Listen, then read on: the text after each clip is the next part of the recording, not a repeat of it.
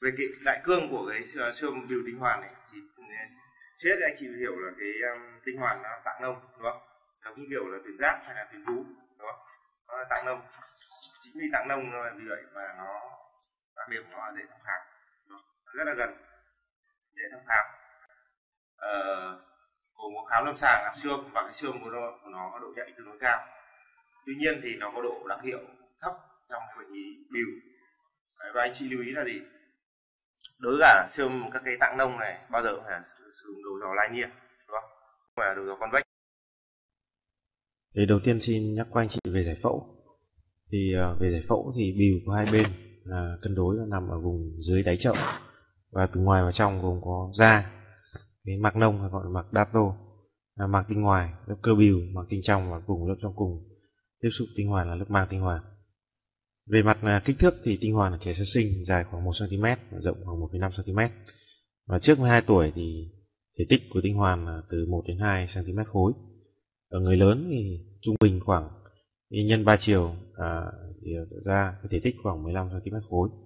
Và màu tinh hoàn là một cấu trúc à, cấu trúc hình ảnh mũ chụp nên hình ảnh của tinh hoàn. À, về cái giải phẫu mạch máu thì cái động mạch tinh hoàn thì xuất phát từ cái mặt trước của chủ bụng giữa động mạch thận và động mạch màng trong trên. Nó đi qua ống bẹn và chia hai nhánh là nhánh tinh hoàn và nhánh màu tinh và một số nhánh nhỏ khác ở vùng tử cung tĩnh mạch thì từ uh, trong tinh hoàn đổ về cái uh, tĩnh mạch chủ dưới và tĩnh mạch thận trái qua một cái đám rối tĩnh mạch gọi đám rối tĩnh mạch hình dây leo. Ngoài ra có thể đổ về hệ tĩnh mạch chậu. Đây hình ảnh của cái giải phẫu giải phẫu của cắt ngang qua uh, qua cái tinh hoàn và biểu từ ngoài vào trong à, từ lớp da biểu cho đến lớp uh, sát cái tinh hoàn uh, cái cái lớp uh, màng tinh hoàn. Đây hình ảnh cấu trúc của các hệ thống ống. À, cấu trúc à, của ống thì đối với cả cái trong tinh hoàn thì đầu tiên là à, có các hệ thống ống sinh tinh. Và các hệ thống ống sinh tinh này có à, có hình ảnh hợp lưu đổ về cái hệ thống ống nằm ở chỉ giữa tinh hoàn này gọi là trung thất hay gọi là rốn tinh hoàn đây, hệ thống ống này tạo thành cái mạng lưới trang trịt, gọi là hệ thống ống lạc. Và các hệ thống lưới tinh ở trong tinh hoàn, lưới tinh ở trong tinh hoàn. Và cái ống này ra khỏi tinh hoàn tạo, trở thành cái ống mao tinh. Ống mao tinh. Và ra tiếp trở thành ống dẫn tinh. Về cái, đây giải phẫu hệ mạch máu, thì chủ yếu là cái hệ thống động mạch đến tinh hoàn là gồm có cái động mạch tinh hoàn và cái động mạch của cái ống dẫn tinh về hệ thống tĩnh mạch. À, chủ yếu người ta nhắc đến là hệ thống gọi là cái đám rối tĩnh mạch chạy trong thần tinh. Có hình ảnh như các hệ thống dây leo gọi là đám rối tĩnh mạch hình dây leo. Về mặt kỹ thuật siêu âm thì đối với cả siêu âm tinh hoàn các chị lưu ý là phải cắt các cái lớp cắt theo các cái hướng khác nhau. Ngang dọc chếch và luôn luôn là so sánh hai bên. Và một cái điều lưu ý khi làm siêu âm là không được nhất nội giò khi thăm khám tư thế là bệnh nhân nằm ngửa và kéo dương vật lên phía bụng. Đầu giò chủ yếu là sử dụng đầu giò linear từ đầu giò phẳng với tần số cao. Một số các trường hợp khi mà không à, đo hết cái kích thước tinh hoàn có thể sử dụng đầu giò convex. À, có thể sử dụng Doppler màu à, Doppler sung làm cái nghiệm pháp Vansova nếu cần thiết và có thể kèm theo cái phương à, siêu âm hệ tín niệu để đánh giá à, cái tổng quan à, của cái bệnh lý niệu dục đối với cả hình ảnh siêu bình thường thì trước dậy thì thì tinh hoàn có hình ảnh giáo âm đều. Và sau khi dậy thì có tăng âm nhẹ và đều. Và đối với hình ảnh siêu bình thường thì có một cái giải tăng âm ở ngoại vi giải tăng âm trung tâm xin lỗi. Đây chính là hình ảnh mạch gửi tinh hoàn. Có thể thấy một số cái trường hợp có một số cái cấu trúc chống âm nha nằm trong tinh hoàn. Đấy, hình ảnh của cái một số cái, của cái giãn của ống dẫn tinh ở trong tinh hoàn. Và cái lớp màng trắng phủ ngoài cùng tinh hoàn làm cái lớp màng. Tăng âm. Về kích thước thì cái ờ, chiều cao của tinh hoàn thì thường dưới 5 cm rộng khoảng 3 cm và dày 2 cm và cái thể tích bình thường khi mà nhân 3 chiều nhân 3 chiều và nhân với 0,5 thì bình thường cái thể tích của tinh hoàn là dưới 15 g hay còn gọi dưới 15 cm khối. Và người ta đánh giá theo tinh hoàn khi mà cái thể, thể tích của tinh hoàn là dưới 10 gram hay là dưới 10 cm khối màu tinh hoàn bình thường. Màu tinh hoàn có hình ảnh như hình ảnh cái mũ chụp lên tinh hoàn và chia ra cái đầu màu tinh thân màu tinh và đuôi màu tinh. Và đầu thường có kích thước dưới 12 mm thân là từ 2 đến 3 và đuôi từ 2 đến 5 mm à, cấu trúc là đồng âm với âm của tinh hoàn. Và anh chị lưu ý là luôn tìm thấy cái đầu màu tinh. Đây vì hình mình, minh họa đây thì đầu màu tinh đây là tinh hoàn. Đối với cả trong cái trường hợp đầu dò tần số cao cắt cái lớp cắt đứng dọc đây hình ảnh dưới bên trái đây hình ảnh của cái đầu màu tinh đây là thân màu tinh. Về cái động mạch thường tinh à, ờ, động mạch tinh hoàn đây là hình ảnh của mũi tên trắng đây là hình ảnh của động mạch à, trong tinh hoàn. Đây hình ảnh của hình dưới bên phải là hình ảnh của cái phổ phổ Doppler của cái động mạch tinh hoàn. Thì phổ Doppler của động mạch tinh hoàn có cái chỉ số sức cảm trung bình là 0,62 và biên độ dao động là từ 0,48 đến 0,72 à, với cái đỉnh tâm thu tương đối sớm. À, hình, hình dưới bên trái cho thấy người ta cắt chia đôi cái, cái cửa sổ ra thấy là cái hình ảnh tưới máu của tinh hoàn hai bên là cân đối nhau trong cái trường hợp bình thường. Đây hình ảnh của người ta cắt à, cắt qua cái vị trí à, cắt qua cái vị trí thông tinh cho thấy là cái đám rối tĩnh mạch hình dưới leo có hình ảnh phủ màu của màu, màu xanh bao quanh cái động mạch tinh hoàn. Hình chữ T hình ảnh của động mạch tinh hoàn xung quanh là cái đám rối tĩnh mạch hình à, dây leo à, có hướng chạy xuyên dọc trong cái thần kinh. À, tiếp theo nói anh chị về các cái chỉ định của siêu âm của tinh hoàn. Thì đầu tiên là chỉ định là cái sưng đau vùng bìu của tinh hoàn. Thì tiếp theo là, là nghi ngờ các bệnh lý nhiễm trùng à, sau chấn thương à, trong những trường hợp tinh hoàn lạc chỗ. Và cuối cùng là cái bi lăng của vô sinh. Hiện tại thì cái bi lăng vô sinh là cái à, cái chỉ định à, tương đối thường gặp trong cái siêu âm của tinh hoàn đặc biệt là siêu âm Doppler tinh hoàn để đánh giá những cái trường hợp của giãn tĩnh mạch tinh. Tổn thương à, nhiễm trùng. À, đầu tiên là cái bệnh lý viêm tinh hoàn và màu tinh hoàn. Thường cái tổn thương này gây đau vùng bìu thường kèm theo sưng. À, sờ nắn thì đau tăng và khi chị lưu ý một điều là khi nhấc tinh hoàn lên thì thường là giảm đau. Nguyên nhân có rất nhiều.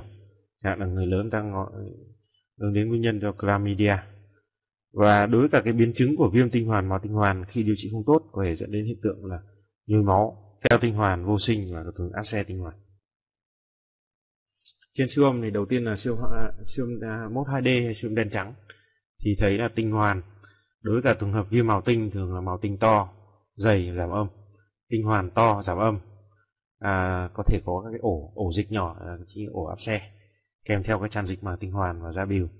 Trên Doppler Doppler sung và Doppler liên tục có thể thấy hiện tượng tăng sinh mạch. Độ nhạy lên đến 100% có giảm chỉ số sức cảm. Dưới 0,5 anh chị lưu ý là đối với cả cái à, trong cái Doppler à, đối với cả cái động mạch tinh hoàn bình thường e chỉ số sức cảm à, tương đối cao thường là trên 0,5 à, tốc độ thường tăng à, với cả à, VP thường là trên 15 cm trên giây. Đây là cái trường hợp ví dụ minh họa của trường hợp viêm màu tinh có tăng kích thước của thân màu tinh và giảm âm. Đây là cái trường hợp à, của cái viêm à, đầu màu tinh cái đầu màu tinh to. À, vị trí to nhất à, vị trí giãn nhất đo được là 15 mm và có hiện tượng tăng sinh mạch tăng sinh mạch trên xương đô lè à, đây ví dụ à, của hình ảnh cắt dọc tinh hoàn. À, thì thấy cái màu tinh hoàn vị trí màu tinh hoàn à, à, tăng kích thước. À, tinh hoàn thì cấu trúc à, vẫn bình thường và trên người ta phủ màu lên thì toàn bộ cái vị trí cái chỗ màu tinh tăng kích thước có hình ảnh tăng sinh mạch.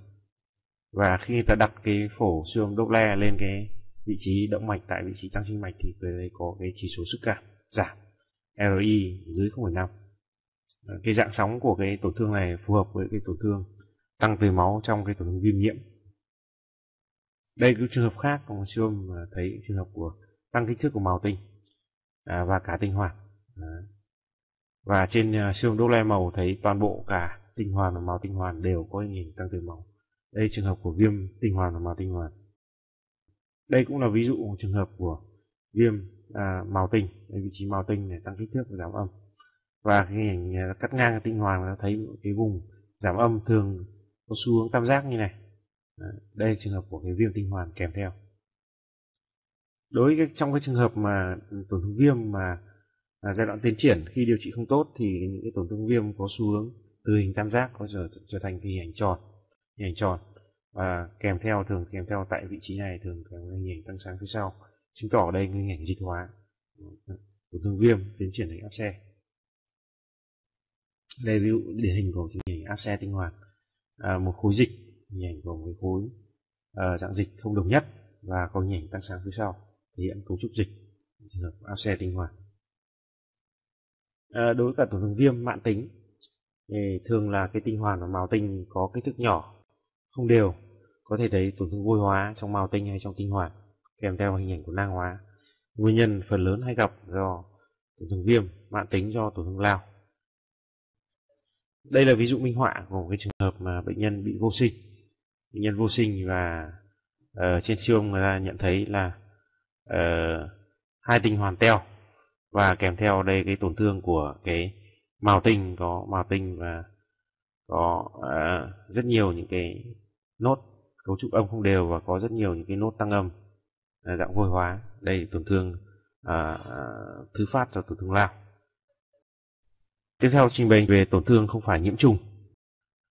À, đầu tiên nhắc đến là bệnh lý giãn tĩnh mạch tinh. Thì giãn tĩnh mạch tinh là cái bệnh lý thường gặp nhất mà là bệnh lý thường gặp gây à, là nguyên nhân gây à, vô sinh ở nam giới. Thì giãn tĩnh mạch tinh được định nghĩa là uh, hình ảnh của giãn tĩnh mạch tinh hoàn và cái đám rối tĩnh mạch do suy van à, bình thường tĩnh mạch có kích thước dưới 20 mét và người ta chia là giãn nguyên phát chiếm từ 15 đến 25% vô sinh nam và giãn thứ phát chiếm khoảng 75 đến 85% vô sinh nam. À, thường gặp ở bên trái. Chị lưu ý là do do cái tinh tĩnh mạch tinh bên trái nó dài hơn bên phải do vậy mà hay gặp cái dạng tĩnh mạch tinh bên trái nhiều hơn bên phải. Lý do thăm khám thường bệnh nhân thấy đau bẹn bìu và hay gặp nhất là bệnh nhân uh, vô sinh. Sờ thấy cái màu tinh hoàn lộn nhổn ấn xẹp và to lên khi đứng. Đây là hình, à, cái schema sơ đồ hình minh họa của cái dạng uh, tĩnh mạch tinh. Uh, chính là dạng dạng của cái đám rối tĩnh mạch hình dây leo. Trên siêu âm uh, trên siêu âm thì thấy là tĩnh mạch tinh giãn đường kính là trên 2,5 mm và tăng ít nhất là 1 mm sau khi làm liệu pháp Vasanva à, ờ, và có trên cái uh, trên siêu âm Doppler thì có thể có sóng trào ngược khi làm cái nghiệm pháp à, uh, Vasanva slide này chỉ nói lên cái cái, cái phân độ giãn của tĩnh mạch tinh trên cái siêu âm uh, siêu âm uh, tháng xám rồi siêu âm uh, mốt 2D thì cái phân là 4 độ thì cái độ 1 tức là bình thường tức là ở cái kỳ nghỉ thì cái tĩnh tinh đường kính khoảng 2 mm và sau khi làm nghiệm pháp văn va thì nó tăng lên dưới 1 mm ờ, khoảng 2,7 mm độ 2 tức là giãn ờ, giãn nhẹ.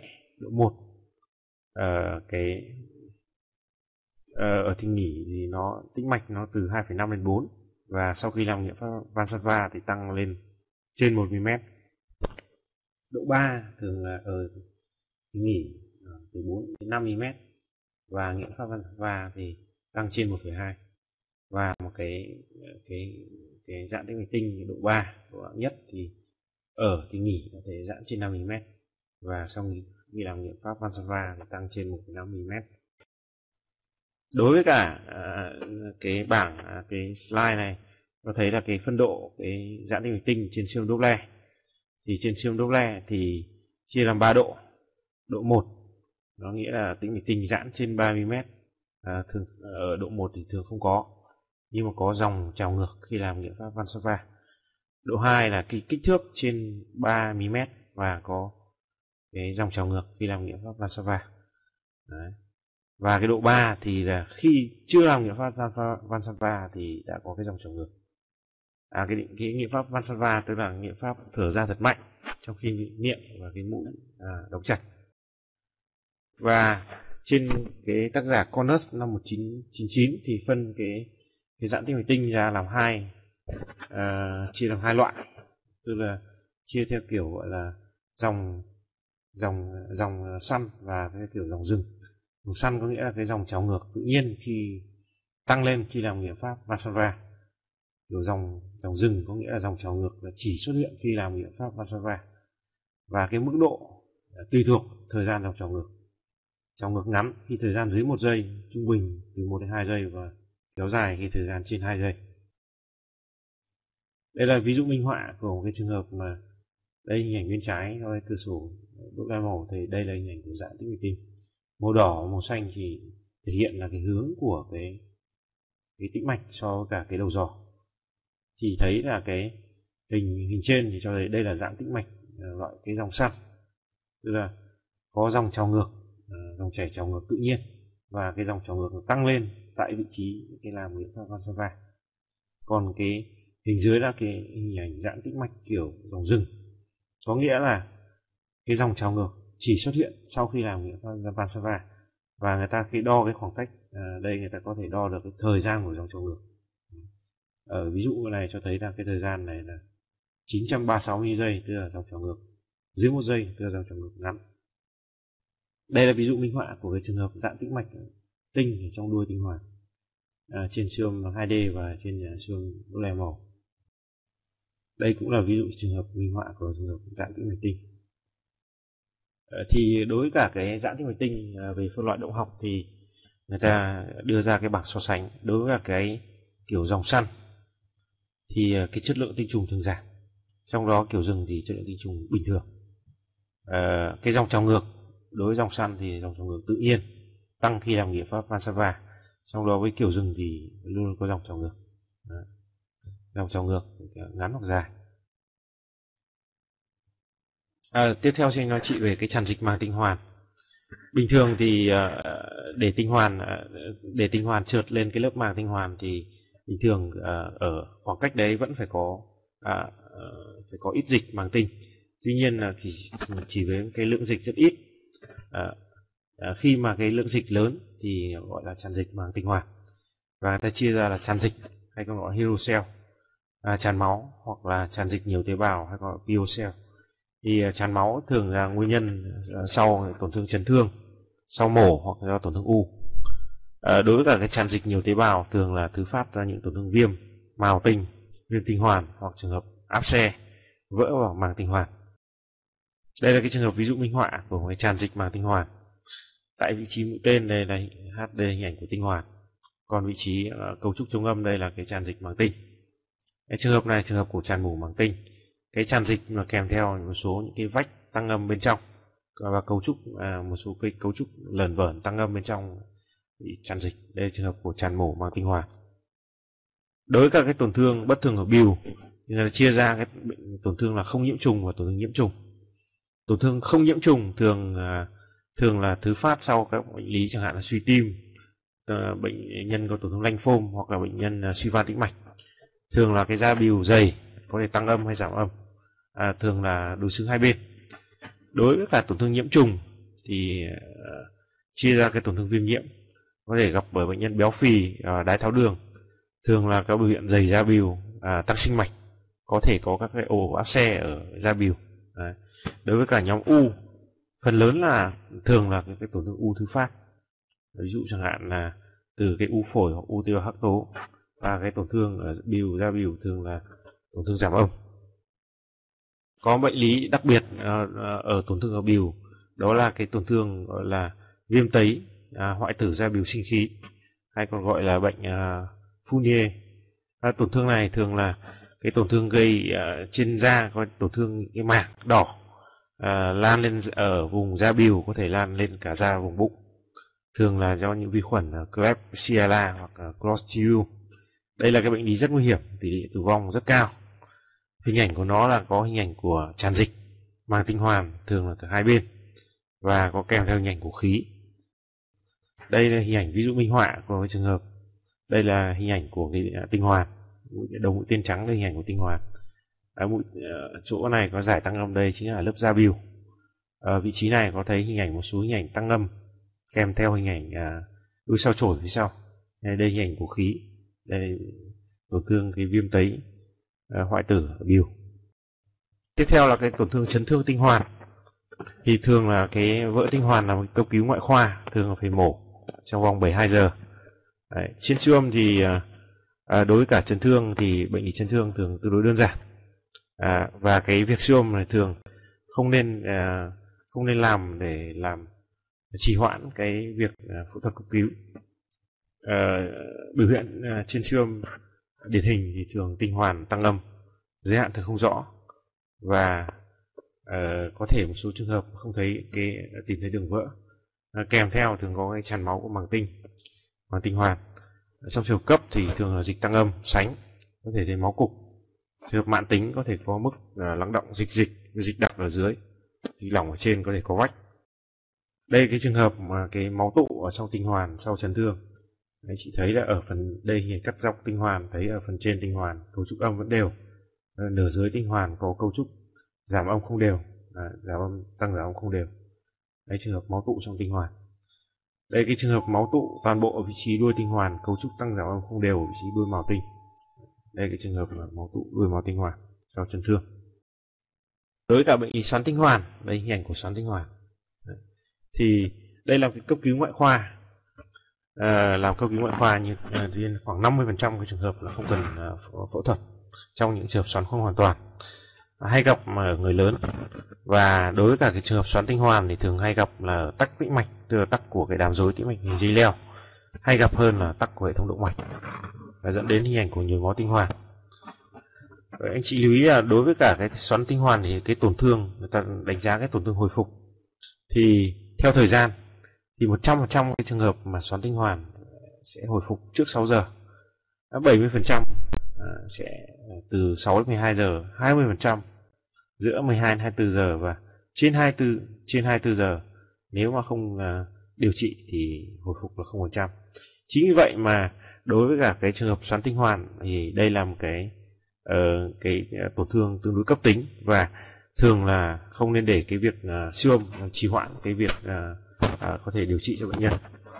Trên lâm sàng bệnh nhân thường có đau dữ dội vùng bìu bệnh nhân nôn buồn nôn và có một cái dấu hiệu à, rất đáng lưu ý là khi mà ta dùng tay để nhấc tinh hoàn lên thì bệnh nhân thường không không giảm đau đây là một cái dấu hiệu trên lâm sàng rất có giá trị để chẩn đoán phân biệt với trường hợp của viêm tinh hoàn và màng tinh hoàn.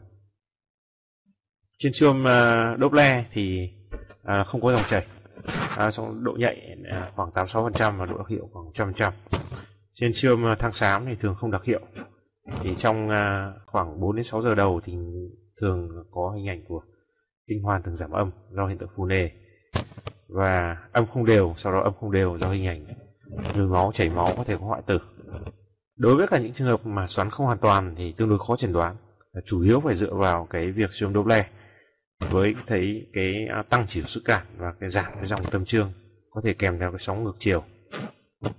Và anh chị lưu ý một điều là thấy dòng chảy trong tinh hoàn không có nghĩa không xoắn.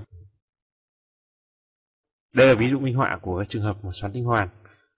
À, thường người ta để đối với cả siêu âm ờ, xoắn tinh hoàn là thường người ta đặt một cửa sổ siêu Doppler à, lên mà ta à, có thể thấy được cả hai bên tinh hoàn để người ta so sánh các cái điểm mạch. Thì đây cái trường hợp của cái xoắn bên trái à, bên phải cái điểm mạch bình thường. Đây cũng trường hợp ví dụ minh họa của trường hợp xoắn bên trái à. trường hợp bên này là trường hợp của xoắn bên phải thấy cái tinh hoàn bên phải to và giảm âm hơn và không thấy cái tín hiệu mạch bên trong. Tiếp theo anh nói chị về vôi hóa vôi hóa vùng biểu vôi hóa vùng biểu chủ yếu ờ, đầu tiên nói là vôi hóa vùng tinh hoàn. Và vôi hóa tinh hoàn thì đầu tiên gặp các cái tổn thương vi vôi hóa, có thể vôi hóa trong cái tổn thương u u ác tính, có thể vôi hóa trong các tổn thương lại lành tính, chẳng hạn lao, bệnh sarcoid hoặc là sau cái tổn thương nhồi máu mạng tính vôi hóa ngoài tinh hoàn thì có thể gặp à, sau cái viêm màu tinh và tinh hoàn mãn tính đặc biệt là sau tổn thương lao hoặc là nhiễm săn máng nhiễm săn máng. Đây là ví dụ uh, của cái trường hợp mà người ta cắt dọc qua tinh hoàn. Ở đây trường hợp cắt ngang qua tinh hoàn hai bên thì thấy cả hai tinh hoàn có rất nhiều những nốt tăng âm nhỏ nhỏ xíu và những, những nốt này thường dưới 30 mét và không kèm theo bóng cả đây hình ảnh uh, giải phẫu bệnh uh, hình ảnh người ta cắt giải phẫu và người ta. Uh, thấy là có hình ảnh uh, hiện tượng khoáng hóa hiện tượng khoáng hóa ở trong các cái hệ thống ống dẫn tinh ống dẫn tinh nhỏ trong tinh hoàn tạo thành các cái hình ảnh vi vôi hóa. Đấy tổn thương của vi vôi hóa tinh hoàn thì vi vôi hóa tinh hoàn là tình hình khoáng hóa trong các ống dẫn tinh nhỏ trong tinh hoàn và à, cần lưu ý là không có cái mối liên quan rõ rệt giữa cái vi vôi hóa và ung thư tinh hoàn và đối với cái trường hợp mà có vi hóa tinh hoàn hai bên thì thường là phải theo dõi thường niên. À, đặc biệt khi có phù hợp các cái yếu tố à, nguy cơ gây ung thư chẳng hạn như là tinh hoàn lạc chỗ hoặc là teo tinh hoàn. Trên siêu âm đấy thì biểu hiện là cái chấm nốt từ một ba mm không kèm bóng cản. Số lượng à, chia thay đổi chia ba độ độ một với vôi hóa ít nhiều hoặc rất nhiều. Trường hợp của ví dụ à, vi vôi hóa tinh hoàn. Đối với cả tổn thương u trong tinh hoàn thì chia tổn thương dạng nang và tổn thương u đặc. Đối với cả cái u ờ, dạng nang ở tinh hoàn thì nang trong tinh hoàn có thể là nang đơn độc nang ờ, đơn thuần đơn độc có thể là nang epidermis à, có hình ảnh có thể là do hình ảnh của dạng ống dân tinh dạng tĩnh mạch trong tinh hoàn với biểu hiện là cái, cái cấu trúc hình ống thường là bệnh nhân vô sinh và là siêu Doppler có dòng chảy tổn thương áp xe thường thứ phát sau viêm tinh hoàn và màu tinh hoàn. Đây là ví dụ minh họa của trường hợp của cấu trúc dạng nang. Đây là trường hợp nang đơn độc trong tinh hoàn. Tuy nhiên, nang này nằm ở cái vị trí cái rốn ở vị trí trung thất tinh hoàn và gây chèn ép, gây giãn các cái ống dẫn tinh ở trong tinh hoàn. Đây trường hợp của nang epidermoid nang cấu trúc không chống âm hoàn toàn và kèm theo có hình ảnh vô hóa thường ở cái thành của nang. Nang epidermoid nang thực bì đây là ờ, cấu trúc nang như nằm ở cái vị trí lớp màng trắng gọi là nang lớp màng trắng. À, có thể là đây ví dụ minh họa cũng có thể là cái nang có thể nằm trong tinh hoàn có thể ở vị trí màu tinh. Nang tinh hoàn và màu tinh hoàn. Đối với cả u ác tính tinh hoàn thì nó chỉ chiếm khoảng 1% của u ác ở nam giới. Có một số yếu tố nguy cơ như tinh hoàn lạc chỗ à, nguy cơ ung thư à, gấp từ 2,5 đến 8 lần. Yếu tố gia đình chẳng hạn là bệnh nhân có hội chứng Klinefelter có thể trong cái trường hợp của bệnh nhân gọi là có u tinh hoàn bên đối diện. À, vi hóa thì thường không rõ ràng. Không có không có mối liên quan mật thiết giữa vi hóa và cái ung thư tinh hoàn. Lâm sàng thường bệnh nhân đau phát hiện tình cờ có thể do tổn thương di căn. Về giải phẫu bệnh u tinh hoàn anh chị lưu ý là người ta chia giải phẫu bệnh à, chia tương đối phức tạp. Anh chị lưu ý đây. Phần lớn là đối với cả cái u tinh hoàn hay gặp nhất đó là cái ung thư tế bào cái loại u tế bào mầm chiếm đến 900% và trong cái u tế bào mầm thì cái u nguyên bào tinh hay còn gọi là seminom chiếm đại đa số. Có nghĩa là trong cái ung thư của tinh hoàn thì cái u nguyên bào tinh là cái u hay gặp nhất. Có một số cái điểm lưu ý trong cái uh, về ung thư tinh hoàn. Thứ nhất trên siêu âm là không khẳng định được cái tip mô bệnh học của ung thư. Uh, siêu âm có thể giúp đánh giá cái tổn thương uh, các cấu trúc lân, lân cận chẳng hạn là cái hệ thống màu tinh vân vân đối với cả cái siêu âm có thể đánh giá được cái tổn thương đấy là khu trú hay lan tỏa. Uh, nó nằm ở một hay hai bên tinh hoàn. Về hình ảnh siêu âm thì đa phần là à, ung thư là cấu, cấu trúc giảm âm tương đối đồng nhất có thể có hình, hình ảnh của nang ung hợp seminom hoặc à, cấu trúc âm không đều.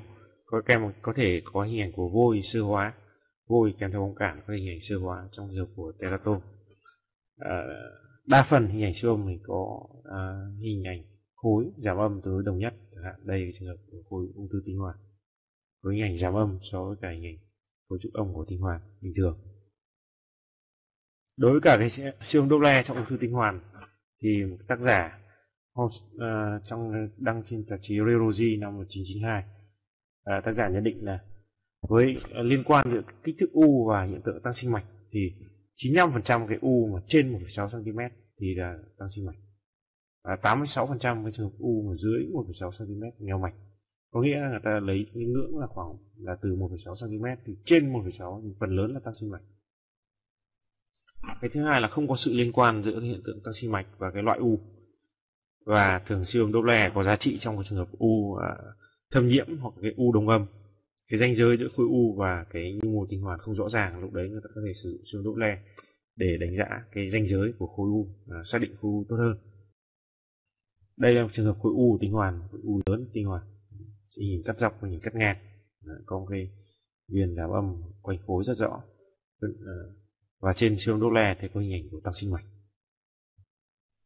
Chẩn đoán phân biệt u tinh hoàn với tổn thương viêm u trú nhồi máu sau sinh thiết hoặc là trường hợp u hạt u hạt sau điều trị thuốc. Đối với các cái tổn thương nghi ngờ giữa khối u tinh hoàn và các tổn thương khác chẳng hạn tổn thương viêm nhồi máu thì luôn luôn chọn sinh thiết sau đó là phẫu thuật và làm à, giải phẫu bệnh. Đối với tổn thương ngoài tinh hoàn thì có chia ra tổn thương dạng à, nang và tổn thương đặc. Tổn thương nang hay gặp nhất là nang màu tinh có thể có hình ảnh à, có cái à, ứ dịch của à, ứ dịch của cái hệ thống ờ, uh, ống dẫn tinh. Các tổn thương khác chẳng hạn là tràn dịch có vách áp xe thoái triển. Đối với các tổn thương dạng đặc hay gặp nhất đó là trường hợp là viêm mao tinh hoàn mãn tính uh, sau lao đây là ví dụ minh họa của cái trường hợp của nang màu tinh. Đây hình ảnh của nang lớn ở đầu màu tinh. Đây là trường hợp của nang màu tinh. À, một số cái trường hợp nang màu tinh rất lớn thì có thể người ta phải chuyển từ cái đầu giò linear sang đầu giò convex để có thể đo được toàn bộ kích thước của cái nang đây là trường hợp nang lớn ở vị trí màu tinh.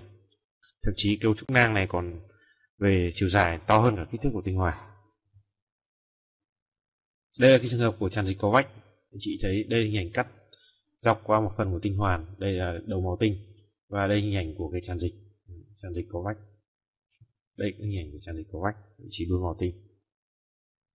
Đây là ví dụ minh họa của một cái trường hợp có một khối. Hình, hình dưới bên phải có trường hợp có khối khối lớn nằm ở vị trí uh, uh, quang ngoài tinh. À, khối dạng đặc. Và khối này sau khi sinh thiết và làm bệnh đó là trường hợp khối viêm mạng tính à, khối u hạt nó lao. Đây trường hợp là trường hợp của khối à, cấu trúc âm không đều. À, khối cấu trúc âm không đều sau chấn thương. Đây là khối máu tụ ngoại tinh mạc sau chấn thương. Để kết luận lại của bài thì thứ nhất là đối với cả cái tổn thương à, của tinh hoàn hiện tại thì chẩn đoán chủ yếu dựa vào lâm sàng và biện pháp hình ảnh à, đầu tay đó là siêu âm là siêu đô lè. Trong một cái số trường hợp khó việc chẩn đoán phân biệt có thể dựa vào cái sinh thiết tổn thương để xác định.